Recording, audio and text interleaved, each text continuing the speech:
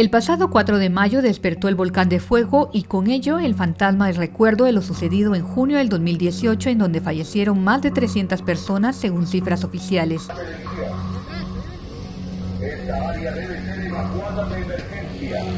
Siga la de evacuación. Para más detalles, esconde la radio o la televisión. En esta ocasión, las autoridades recomendaron que más de 1.054 personas abandonaran sus hogares en San Pedro Yepocapa, Chimaltenango, según informó el secretario ejecutivo de la Corlet, Oscar Cosio.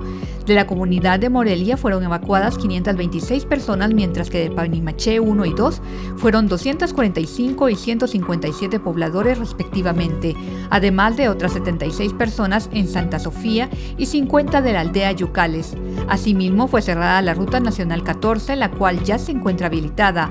Por la caída de ceniza se vieron afectadas otras 280 mil personas de los departamentos de Chimaltenango, Suchitepeques y Zacatepeques.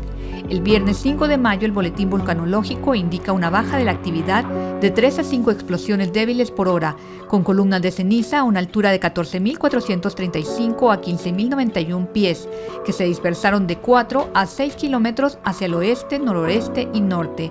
En el 2018, la furia del volcán generó que desapareciera la comunidad de San Miguel Los Lotes, con más de 20.000 habitantes, algo que sin duda los pobladores de estas comunidades no quieren volver a vivir. Para más información, visita nuestro sitio web lahora.gt o descarga nuestra aplicación La Hora para Android y iOS.